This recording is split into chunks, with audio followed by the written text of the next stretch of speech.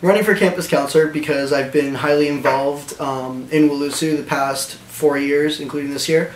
Um, I feel like it's an, another step towards students. I feel like I can use my voice, um, leadership abilities, and communication skills to get through board of directors and board of directors and help uh, the students have a voice and make Brantford well known for themselves.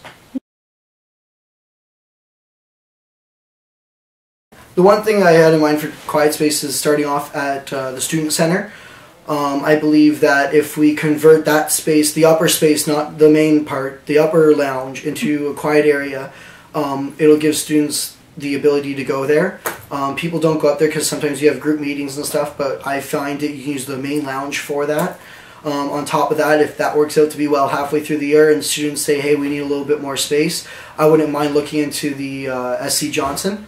Um, that way, it's like it's another area that can be easily converted. You have cubicles around, yet you have community spaces, I guess, and say in the in the middle, which can disturb people around them. So if we made that strictly quiet area, um, it could be a little bit more beneficial towards students.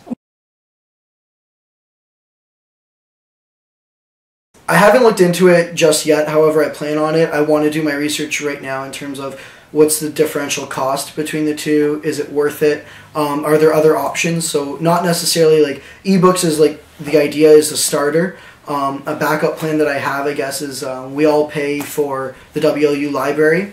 Um, however, some of the course packs that we have that professors give us, um, we're paying double for those copyright fees. So in case the e-readers don't work out, possibly getting into my learning space and working with professors to use my learning space even more and more productive so we're not double paying as students for those copyright protections. Well, first I want to start off as doing like an online basis, having a suggestion online. Um, that way that people can go online from the comfort of their home if they think of an idea and bring it to us. Through the WLUSU? Um, yeah, through the WLUSU website. Um, I believe also um, that we can do this as having like little drop boxes around campus. People suddenly get ideas randomly saying that we need different things and they think of it and they need a way to express it right away or else they'll lose it. So if I find if we have drop boxes around, little suggestion boxes around campus in the lounge uh, areas, uh, a starter would be in the student center just to get it going and seeing how well it does. Um, other than that, on a bi-weekly basis, to get more towards your question, I want to be available to the students.